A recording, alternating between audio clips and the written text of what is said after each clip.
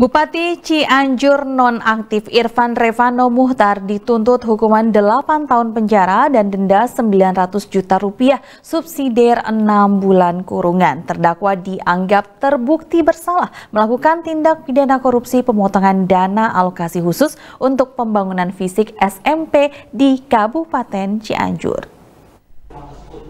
Terdakwa Irfan Nirvano Muhtar menjalani sidang di Pengadilan Tipikor Bandung dengan agenda tuntutan Senin petang.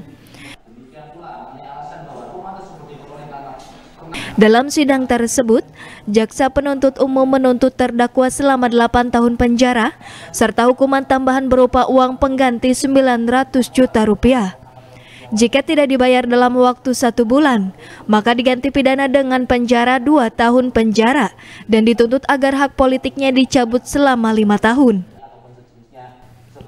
Jaksa penuntut umum KPK menganggap terdakwa telah melanggar pasal 12 nomor 31 tahun 1999 tentang pemberantasan tindak pidana korupsi sebagaimana telah diubah dengan Undang-Undang nomor 20 tahun 2001 tentang perubahan atas Undang-Undang nomor 31 tahun 1999 tentang pemberantasan tindak pidana korupsi Jungto pasal 55 ayat ke-1 KUH pidana Jungto pasal 60 4 ayat 1 sebagaimana dakwaan kedua.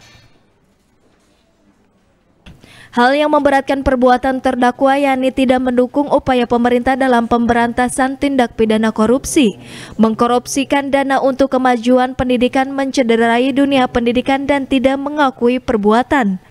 Sementara hal meringankan terdakwa bersikap sopan selama persidangan. Menurut kuasa hukum terdakwa Alfi Sihombing, tuntutan jaksa dianggap terlalu tinggi namun pihak kuasa hukum akan memberikan keterangan di pembelaan nanti untuk meringankan terdakwa. Kita tetap melakukan.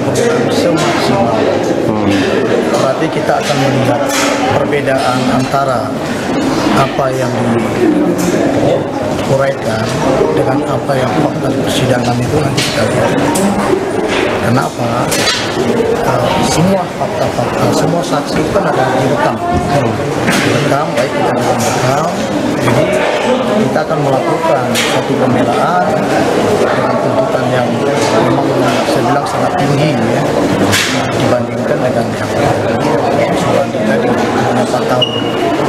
Sementara menurut JPU KPK Ali Fikri, tuntutan sudah tepat karena selama ini terdakwa Irfan berbelit-belit dan tidak mengembalikan uang hasil korupsi. Tidak mengakui sama sekali. Kalau Pak Irfan tidak mengakui. Ya kalau lihat fakta persidangan dan keterangan saksi dikaitkan dengan bukti-bukti yang ada. Sudah jelas. Kami kami berakhir sudah jelas. Alat bukti sudah cukup. Termasuk kemudian kami juga menilai keterangannya ketika dia punya alibi misalnya di rumah.